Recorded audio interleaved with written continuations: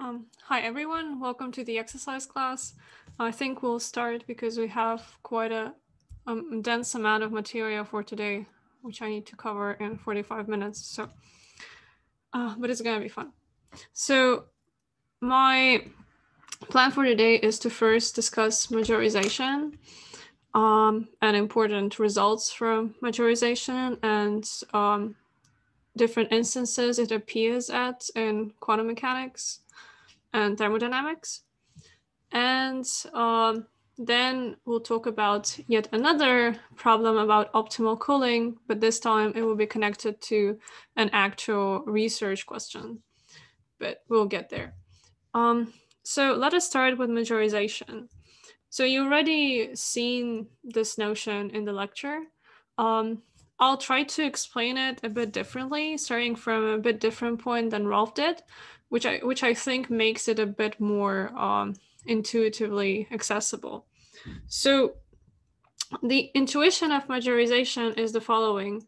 So in, in the lecture, we've seen one definition of majorization. I'll give you a different one, which is equivalent to the one that Ralph's given.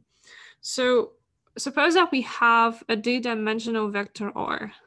So this is a d-dimensional vector. Oh, let me. And we say that this vector is majorized by another vector S. So let me write maybe that they're both these vectors R and S. Um, and we denote it as R is majorized by S if there exists D by D permutation matrices set.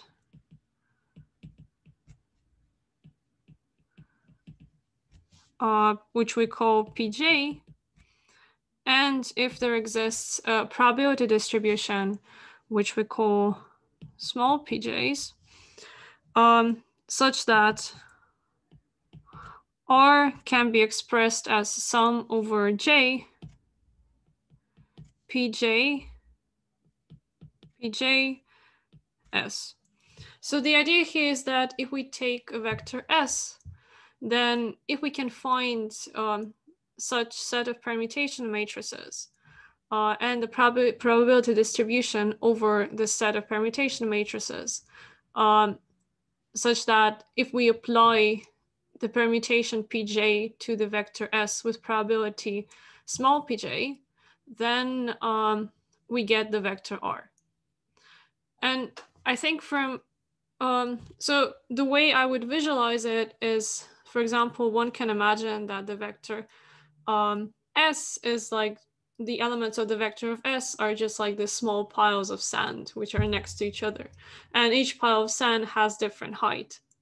And then what, what the one operation you can do, you can just um, kind of re- remix this um, this piles of sand, which is expressed by like applying a permutations to initial um, to initial sequence of this piles of sand with some probability, and then get kind of a new um, sequence of this sand piles.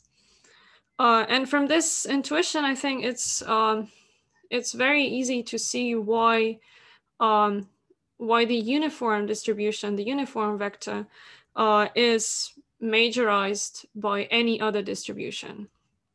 So if we consider this simple example of when we're thinking about these vectors as vectors of probabilities. So for example, S is a vector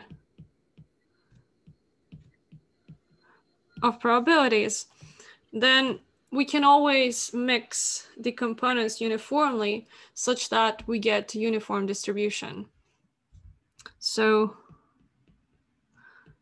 the uniform distribution, which is just this um, vector, uh, all components of which are equal to one over D is always majorized um, by S. Why? Because the, the easy way to see it is take the set pj here as the set of all possible permutations um, for this vector and P, and then the probability distribution pj as a uniform probability distribution. Then essentially, um, as for example, for the first uh, for the first element of the vector, or you have that each um, each element of S appears there with um, yeah with the same probability one over d, which sum up to one over d, because all elements of S sum up to one, as it is a probability distribution. And so it it you can easily see that the uniform distribution is majorized by any other. And so this criterion um, with this permutation matrices and probability distribution uh, is equivalent to the criterion that Ralph has given. So this was in the lecture, which I will not prove here, but for example, you can find the proof in the in the reference that Ralph listed in uh, in the lectures, just in the beginning in the first paragraph, is just a review on majorization and its applications by Michael Nielsen. Um, and so this criterion is, suppose that we take the vector R and then we um, re reorder its elements in such that they go in non increasing order. And we label such a vector as R arrow down. And the elements, which are the reordered elements of the original vector R, are just R1 arrow down, so on RD arrow down.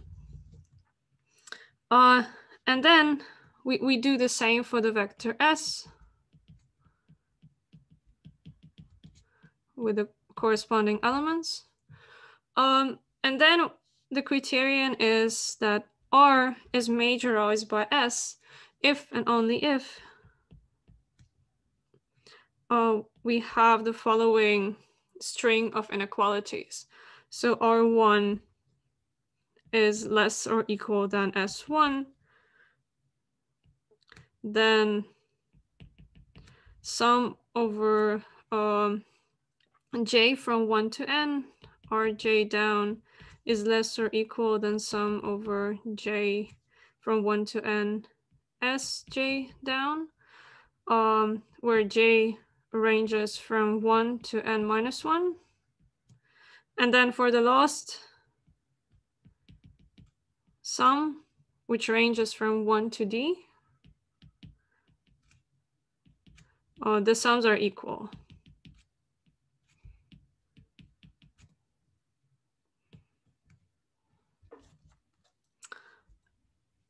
Yeah, so the last the last condition uh, in all cases that we will be looking at, and we mostly look at cases where the vectors R and S correspond to certain probability distributions, it is trivially um, satisfied.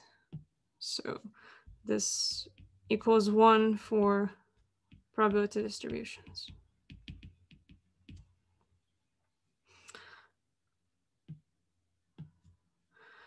Um, yeah, so while kind of the first definition I was talking about, I think gives a clearer intuition what majorization is. The second one is an easier criter criterion to apply for particular cases of vectors, where you just have to essentially reorder the vectors in non-increasing order and then check this criterion. Okay, so let us look at one example. Extremely simple. So let's look at the triangles. So how can we um, introduce the notion of the majorization to just geometric objects such as triangles? So the triangle, um, if we're not considering like the scale at which it is drawn, it just it is can be just characterized by its three angles.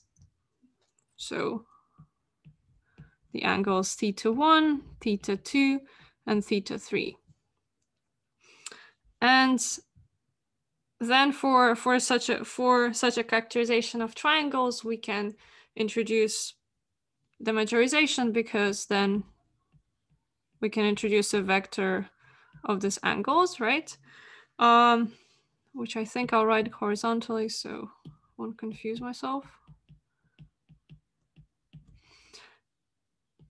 And then just in a case with, or just as in a case with the uniform uh, probability distribution being majorized by everything else, um, the equilateral triangle, which has, uh, which angles are, the angles of which are all equal to pi over three, is majorized by all others.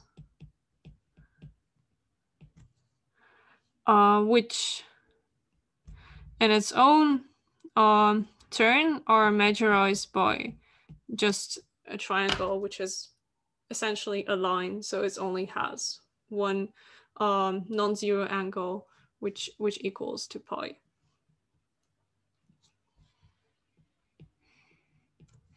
So yeah, so in, in a sense of this majorization, this equilateral triangle is um, majorized by everything else.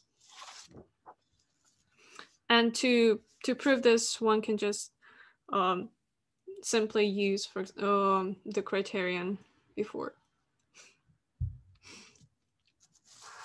Now we were talking about the majorization concept for uh, vectors. Um, how can we introduce the majorization concept for matrices? So suppose that we are given two matrices R and S, which are both uh, Hermitian matrices of size D. So it's D by D Hermitian. Um, then we, def uh, we define, so we say essentially that R is majorized by S if um, lambda of R is majorized by lambda of S where lambda of R and lambda of S are the vectors of eigenvalues of R and S. And since R and S are Hermitian matrices, then the vectors of their eigenvalues are real, and hence um, we can validly just um, define this majorization concept for these matrices via the majorization concept for the vectors of their eigenvalues. Um, so these are eigenvalues vectors.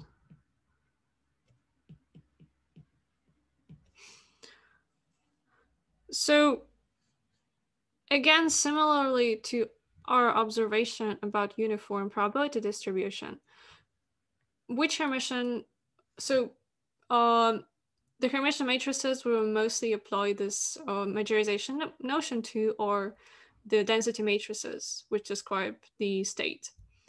And which matrix corresponds, which density matrix corresponds to the uniform distribution? Of course, it's the maximally mixed state matrix. And just as we had this uh, little observation before that the uniform distribution is majorized by every other distribution, uh, the maximally mixed state um, on the dimensional system is majorized by any other um, state on, on that system. Um, yeah, so maybe to to make again this uh, to, to severe the connection of um, like this density matrices with the probability vectors that we were talking about before. Essentially, every uh, what is the meaning of this probability vectors for a density matrix? Um, so when you write the density matrix in its diagonal form, its diagonal elements simply correspond to the probability of measuring uh, measuring the state um, in in that basis state to which this diagonal element corresponds to. And essentially then this probability vector just corresponds to this to the probabilities of uh, to measure this particular state in, in the basis where the state is diagonal. Um, yeah, and so this probability distribution, yeah, sorry, you have a question? Regarding to what you were saying, so if, uh, let's say R and S have different eigenbases, then we will have, uh, like, won't we ever have complex elements in our eigenvectors if we're comparing them one to each other, or we're comparing them on their eigenbases, or so I'm very confused about that. Okay, so essentially, um, when, when when we're talking about two matrices, these two matrices R and S, we do not generally assume that they commute, right? So um, so they might have different eigen um, eigenbases, but uh, in, and in this eigenbasis, they would have their eigenvalues, right? So the eigenvalues that we're we're um, yes that we are um, considering. So first, the eigenvalues of a matrix they don't depend on the basis that we are choosing for the matrix, um, and these two um, eigenvalues vectors they are they are um, they are written they can be written in different bases for R and S. Does it make sense? Ah, okay, yeah, it makes sense. So the, those vectors are just vectors in which we put the eigenvalues of the.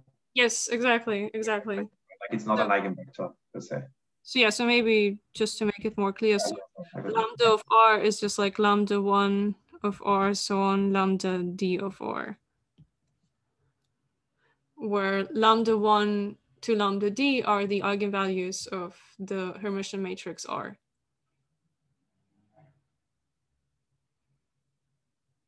Yeah, thanks a lot. Okay, welcome. Um, okay, and so then let us turn to a few important results about uh, majorization, which I will not prove here, uh, but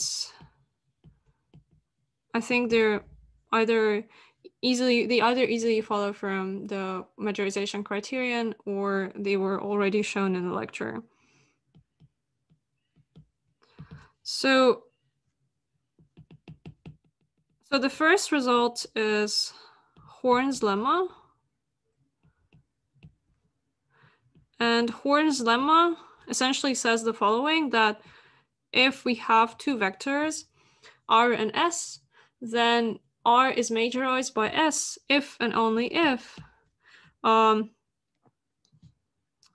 R can be expressed via S in the following way. So Ri equals sum over J, Uij uh, modulus squared S J um, for where Uij are elements of some unitary matrix U.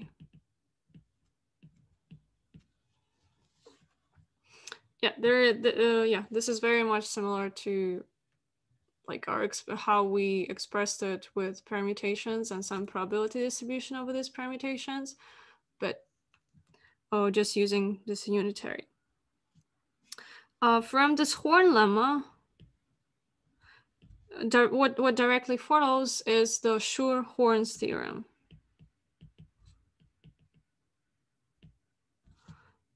And the proof of the lemma actually already is already contained in a proof of the theorem in the lecture notes. So yeah, you don't have to prove it again. And Schur-Horn's theorem says essentially that if we have uh, two vectors lambda and h, I'm sorry for changing notation from uh, R and S, but I think lambda and h um, serve a bit of a different purpose here because lambda can also be understood as this eigen, eigenvalues vector and h is understood as just like the horizontal, sorry, the diagonal um, elements vector. So lambda is majorized by, sorry, h is majorized by lambda if and only if uh, there exists a Hermitian matrix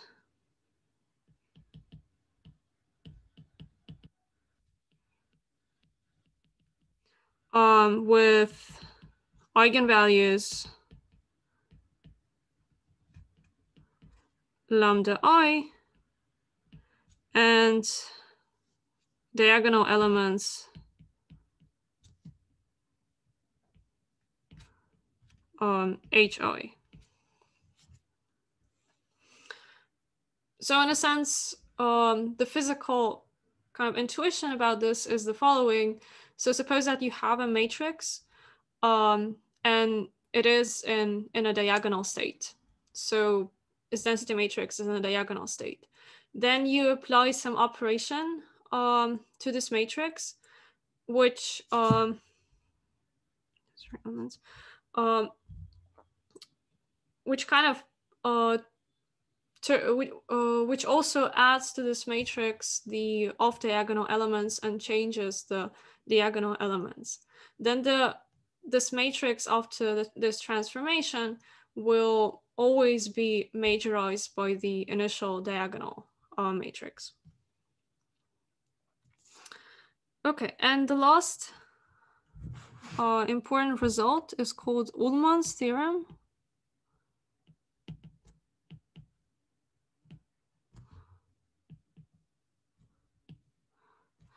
And it essentially says the, uh, the following. So this is already for the um, matrices. So suppose that we have two Hermitian matrices R and S, then R is majorized by S if and only if there exists um, a set of UJs, unitaries, uh, and there exists um, probability distribution Pj such that R can be expressed as sum over J, Pj, Uj, S, Uj dagger. So as, um, again, coming back to our initial definition of majorization, there we were just um, kind of uh, probabilistically mixing permutations of a vector. Here we are probabilistically mixing um, operations, uh, unitary operations uj that we apply to the uh, matrix S. Or, or if it's a state, if, if it describes a state, then the state S.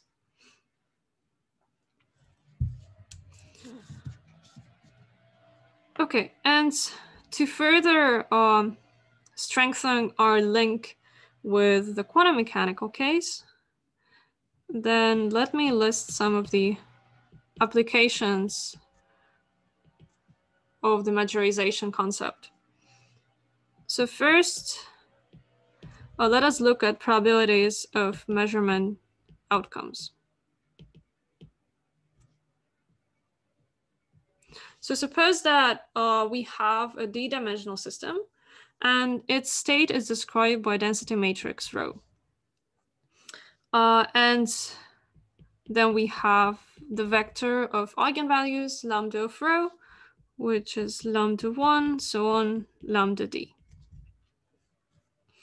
Uh, then in, in its diagonal eigenbasis, rho can be expressed as just sum over j, lambda j, jj.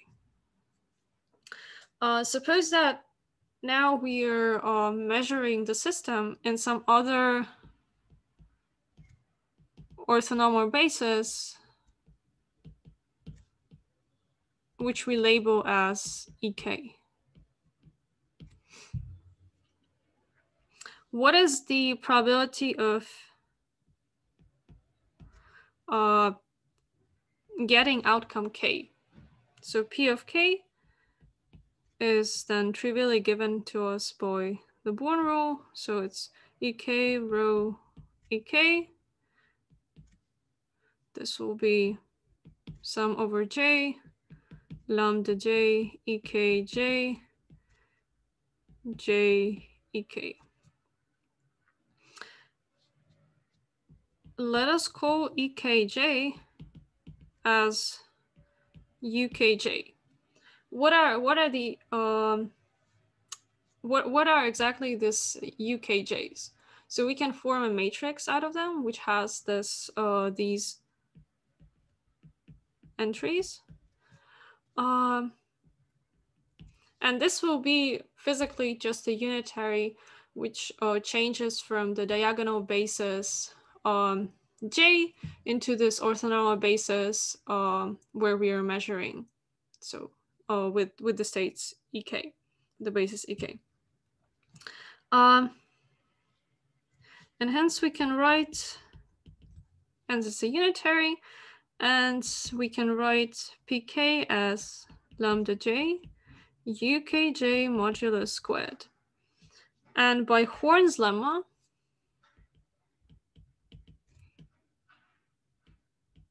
we get that pk, since we can write it write it in this way, uh, is majorized by lambda of rho. So essentially we can, uh, every probability distribution um, for any measurement basis, the probability distribution that we would get measuring the state rho in that basis would be majorized by um, its eigenvalues vector. Um, okay, and conversely, actually, um, if we are given a probability distribution pk, p of k, then we can always find a basis ek. Oh, sorry. So if we, if we are given this probability distribution p of k, which is ma uh, which is majorized by the vector of eigenvalues of rho, then we can always find such a basis ek, uh, with with which we can measure in which we can measure um, this uh, the system and get the probability distribution p of k of the outcomes. Because Horn's lemma works both ways.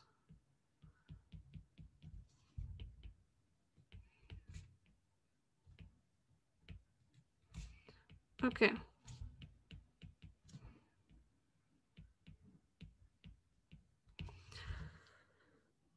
So this was about the vector of probability of um, measurement outcomes. The next um, thing that we look at is post-measurement state.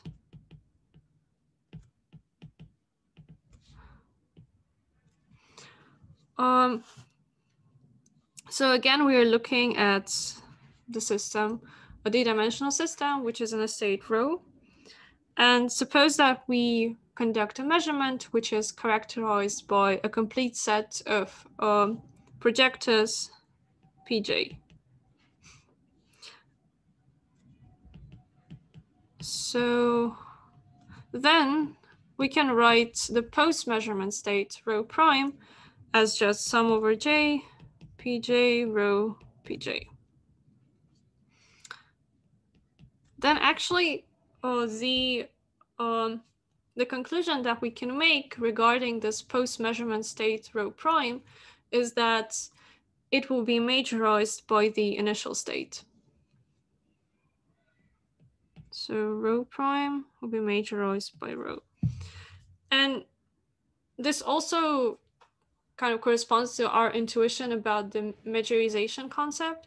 So majorization concept is um, something like if if the first state is majorized by the second state, um, then the first state is in a sense more mixed than the second state or closer to the uniform distribution um, or the maximally mixed state, depending if we are talking about the probability distributions or about uh, the density matrices.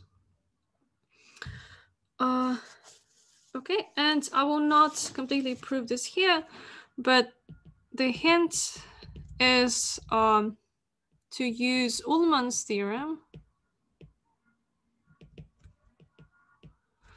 uh, for the unit for the unitaries UK that we define as the following mix of the projectors.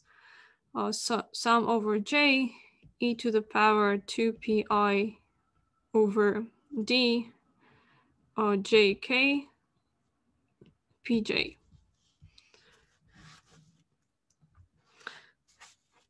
Okay, so you can show that these are indeed the unitaries and that um, and using using them just deploy the Uhlmann's theorem.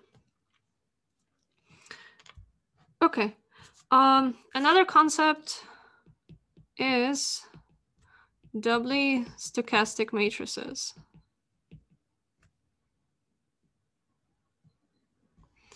Uh, so doubly stochastic matrices is this object which allows us to um, kind of easily, um, like another way to essentially to define what majorization is.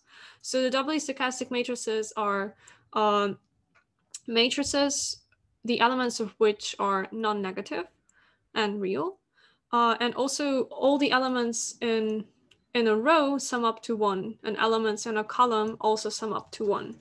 So essentially if we have a doubly stochastic matrix dij, then with elements dij, then all dij's are bigger or equal than zero. Sum over i's dij equals one, and sum over j's dij's also equals one. Uh, so for example, two by two doubly stochastic matrix is just this matrix t, 1 over t, sorry, 1, 1 minus t, 1 minus t, t. See that every column sum ups to 1, every, um, every uh, row also sum ups to 1. Of course, this is for t's which are between 0 and 1. Um, Okay, what is the physical intuition for doubly stochastic matrices? So every doubly stochastic matrix can be seen as a noisy channel. So suppose that uh, we have some input probability distribution, which we call Pj, and output probability distribution that we call Qk. So these are um, d-dimensional probability distributions. And if we have a noisy channel, then essentially what what uh, what characterizes a noisy channel is the probability of an output k given that the input was j. Um, and then qk can be expressed as sum over j, p, k, uh, given j, pj. And this pk given j are exactly the elements of the matrix, which is for now actually is not necessarily doubly stochastic because of the simple observation. So while the sum over k for pk given j equals one, just um, yeah, because because uh, the probability of all outputs has to given an input has to sum up to one. The convert uh, the the other sum, so sum over um, j, so sum over pk given j over j is not necessarily one. So this is not true for all noisy channels. However, um, we're only looking at a particular type of the noisy channels for which this is true. And this is kind of an additional constraint. So maybe I also write that this is a noisy channel. So this is an additional constraint that sum over j, pk given j equals one. What does this constraint ensure? Actually, this constraint ensures only one thing, which is that a uniform distribution is a fixed point of this channel. So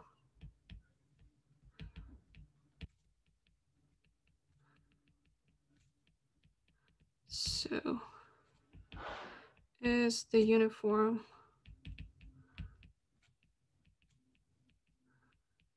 distribution. Uh, okay, so again, to uh, to recap what I just said is um, doubly stochastic matrices can be seen as noisy channels uh, with additional constraint of um, the fact that the uniform distribution has to be the fixed point of the channel. So if we input the uniform distribution, we should get out the uniform distribution. Okay, and given this concept of these matrices, we can formulate a theorem, which actually gives us a way to, um, yeah, to see, sorry, majorization. So if D is doubly stochastic, um, then it's equivalent to saying that dr is majorized by r. Uh, okay, so what does it mean? Already given our understanding of D as a noisy channel, um, and also intuitive understanding of majorization as um, something that makes the vector more mixed in a way. Um, this, this statement is somehow already makes a lot of sense because if we have a probabilities vector, if we apply um, noisy channel to this vector, uh, then essentially we we are bound to get uh, something that is uh, more mixed or yeah. Um, okay, so there are many nice uh, properties of stochastic matrices, like for example, if uh, you multiply two stochastic matrices, doubly stochastic matrices, then um, you get also a doubly stochastic matri matrix. Um, they're not like extremely nice because, for example, there is this caveat of if R is majorized by S and D is a doubly stochastic matrix, then from this, it doesn't follow that dr is majorized by ds. But it's a good way to kind of connect uh, to the notion of the noisy channels and generally the majorization notion. Uh, yeah, in the exercise, you also have to see how the majorization concept plays out for uh, state for thermal states, which is fairly easy to, you just need to apply the, um, like one of the definitions of, of criterions of majorization and compare the diagonal elements. And you'll see that uh, the, the um, state with lower temperature, it always majorizes the state with higher temperature. Because again, because the state with, with higher temperature is somehow more um, disorganized, more mixed. Yeah, um, intuition is like that. Uh, and now we have not so much time, but I'll try to cover it. Um, the second problem, which is the optimal cooling. So I have to warn you that this exercise is based on the actual research question.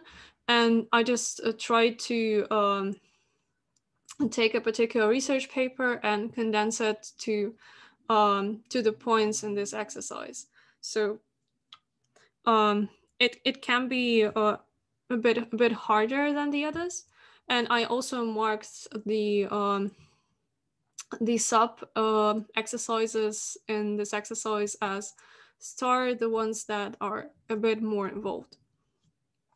So this is based on the paper, which you can find on arXiv.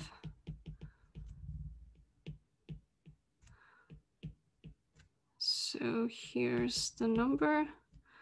It's correct. It's uh, so one of the authors is Ralph actually, and this is uh, a paper which looks at the cooling bound of um, of of um, of a setting, and also looks at the optimal cooling process that we can have. And the setting is the follows. So we have a, a qubit, a real qubit, states zero and one, and the energy gap is ES. And then we have a machine, system that we call a machine, system B. And it has state zero, one, so on, um, dB minus one. So the, um, the dimension of the system is dB, we call it, with the energies ranging from E0 that we just assume to be zero to the lost energy that we call Emax, and these are E1, E2, and so on.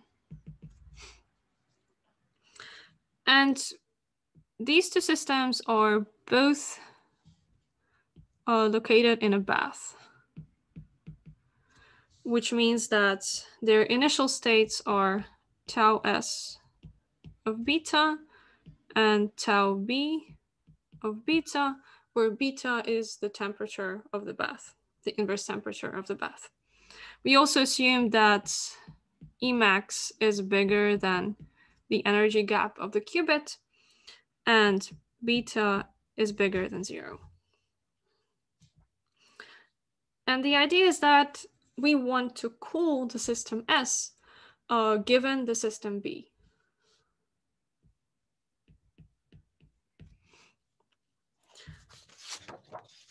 And the question is, first question, what is the cooling bound? So what is the lowest temperature that we can cool S to? Um, yeah, putting this question into the uh, into the measure of inverse temperature beta, what is the largest beta we can uh, achieve for the system S? So this is called a cooling bound. Um, and what is the optimal way of cooling? So in this exercise, we'll consider two ways of cooling. One of them will be uh, not optimal, but it will lead us to the cooling bound uh, quicker. And um, the second process we'll consider will be optimal, but it's a bit more um, difficult to consider. Uh, so, so our first process is cooling, but not optimal. But achieving the bound.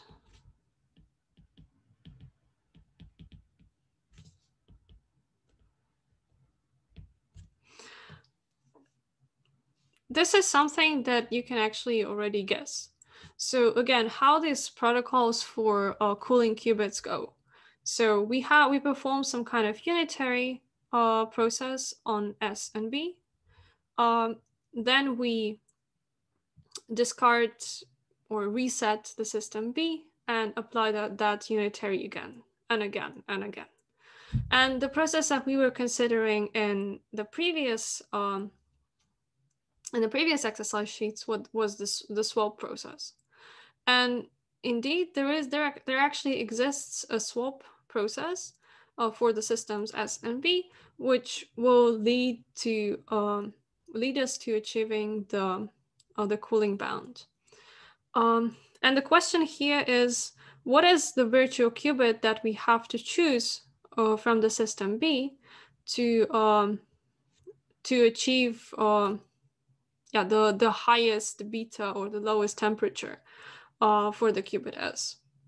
And this is something that you in principle already um, can answer, as in what is the swap process, even if we swap it with the virtual qubit?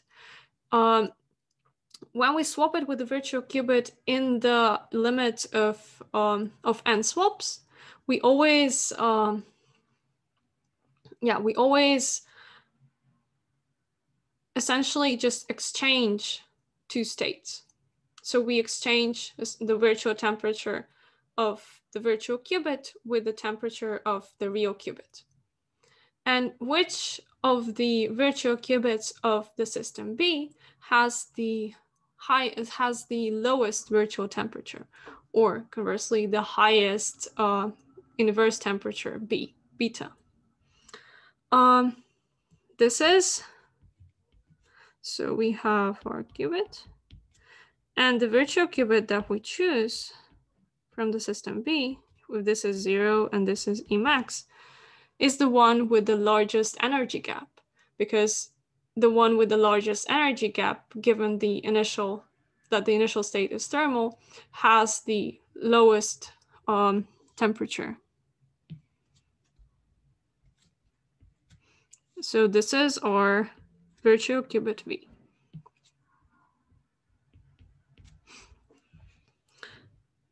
So, and we just perform a swap operation with this qubit n times, and the um,